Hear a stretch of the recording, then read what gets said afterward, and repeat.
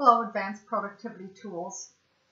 We have a busy week with just one test, so don't forget I will meet you in the classroom Tuesday at our respective 2 o'clock time to take the test, which is formatting worksheets and managing. As you are seeing, Excel is becoming much more difficult, and it's going to become even more difficult as the weeks go on. But that is also why so many businesses are now looking for individuals who can do Excel. It's not like the old days where it was easy to learn it and pick it up on your own. So know that your respective majors have asked you to take this class because it's so vital in the workforce.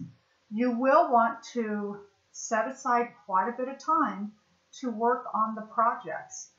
Usually the review is a stepping you through it, but if you've got a challenge or a fix it, it usually takes quite a bit of time.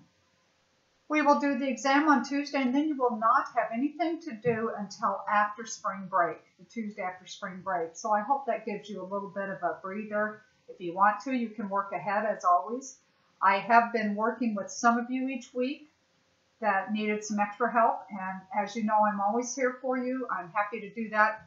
As I mentioned before, give me about one day's notice because right now we're in advising and it's extremely packed each day. So I usually need you to ask me the day before and, and I will work you in either early morning, even late afternoon. So happy to help. You're doing a fabulous job. You're a great class. I really enjoy you. So I will see you Tuesday. Bye-bye.